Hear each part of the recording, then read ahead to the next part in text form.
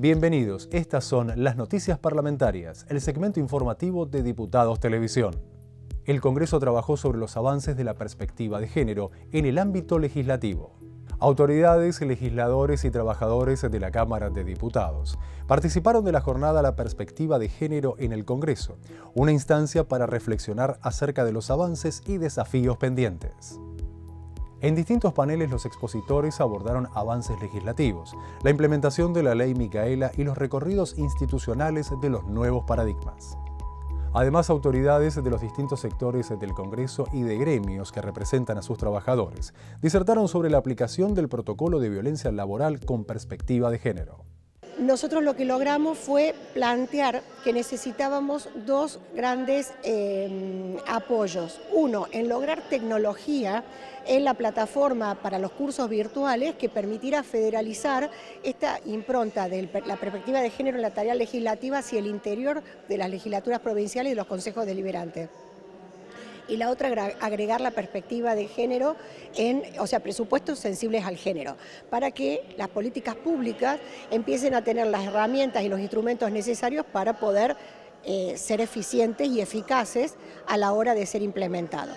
En medio de todo esto, y muy lamentablemente, surgió el drama de Micaela y la fortaleza de sus padres de convertir un dolor de semejante naturaleza en una eh, cuestión propositiva para evitar casos como esos, porque claramente fueron las decisiones de un juez y de una policía las que terminaron generando que eh, indefectible e ineludiblemente Micaela se encontrara con su violador y su asesino. Entonces, en esa capacitación que veníamos trabajando de manera transversal e incorporando la, mesa de género, permitió que capacitar con la ley Micaela fuera realmente un desafío importante pero fácil de cumplir, porque veníamos trabajando en una plataforma para poder hacer los cursos virtuales y teníamos incorporaciones de especialistas en género que nos permitieron hacer cursos de formador de formadores y tener la propia capacidad dentro del ICAP para brindar esos cursos relacionados al tema de género. La ley Micaela, así como fue la media sanción de la ley de aborto, fue una ley que trabajamos transversalmente todos los bloques políticos. Eh, es una ley que trabajamos mucho tiempo, que requirió mucho compromiso, que tampoco fue tan sencilla de aprobar. Después en la Cámara recibió, creo que casi la, la totalidad de los votos, ¿no?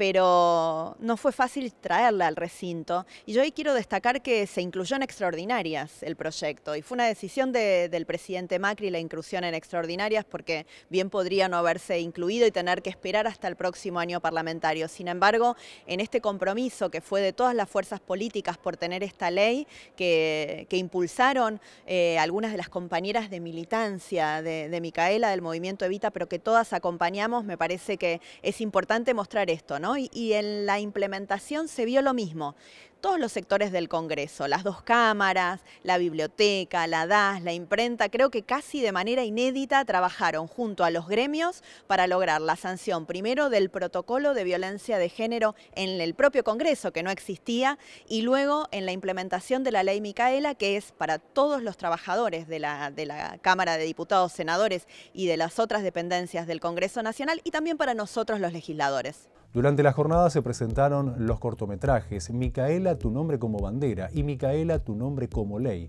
producidos por Diputados Televisión, que desarrollan el impacto de la ley que adoptó el nombre de la joven entrerriana víctima de femicidio. Diputados presenta la muestra Famófagos. Desde el 30 de septiembre al 11 de octubre puede verse en la Cámara de Diputados esta nueva exposición, con obras del dibujante y artista visual argentino Mariano Lucano.